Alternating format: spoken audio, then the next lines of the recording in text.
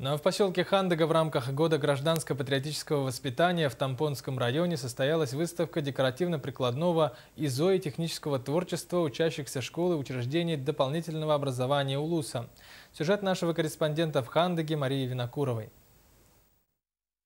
Подобная выставка работ учащихся проводится ежегодно. В этом году она уже 21-я. В экспозициях представлены работы 250 учащихся по 20 разделам. Резьба по дереву, шитье, вязание, вышивка, изделия из кожи, дерева, меха, керамики.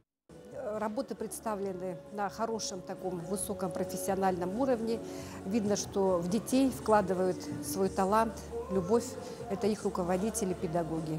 Учитель технологии Кресхаджайской средней школы, народный мастер Евдокия Слепцова привезла на выставку свыше 40 новых работ своих учеников, среди которых большая часть на военную тему.